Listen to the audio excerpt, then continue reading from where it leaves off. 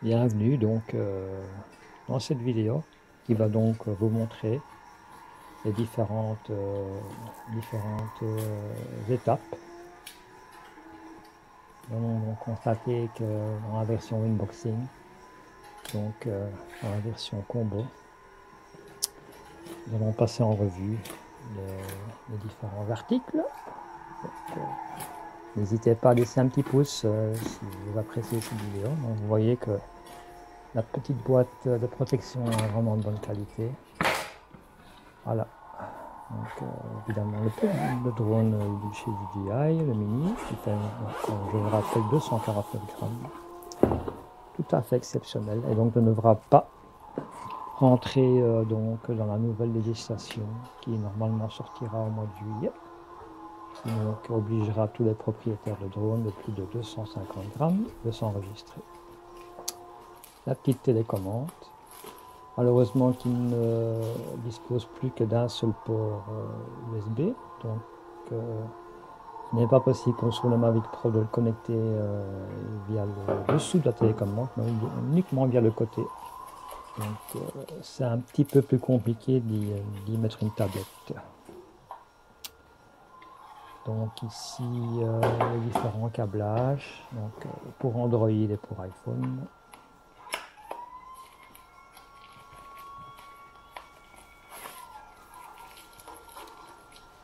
Voilà. Il est, euh, il est, intéressant de dire que les produits de chez, chez DJI sont en général de bonne facture et la qualité est bel et bien présente. Ceci étant dit, ceci n'est pas un jouet, donc c'est un drone qu'il faut manier avec la plus grande prudence.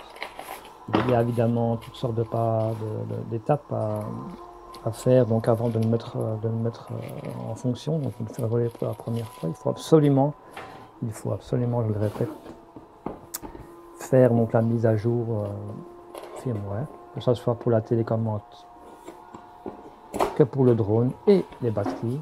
Euh, ceci dit, donc par la suite, euh, il faudra justement des étapes de euh, paramétrage de différents le gyroscope, donc aussi super important.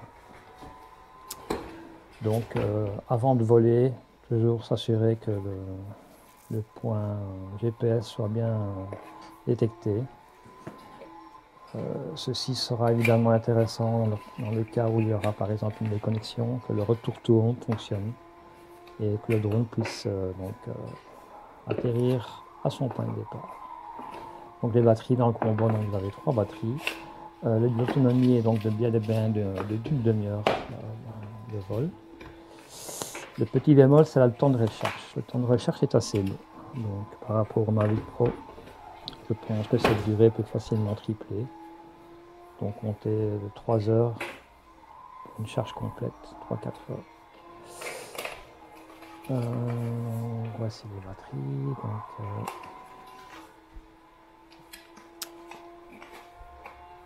voilà, donc on nombre de 3.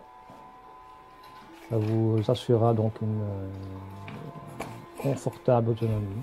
Donc de quoi, de quoi voler une heure et demie. Bon, tenant compte d'une marque de sécurité, disons une heure, une heure quart.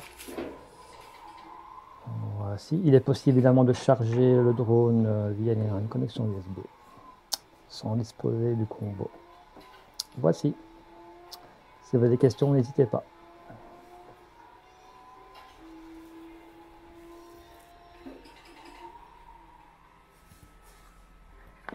Hey you. Yeah, you. Welcome to my channel. You like this video? There is a button. It's a very sexy button. It says subscribe on it. I wish I could click on it, but YouTube won't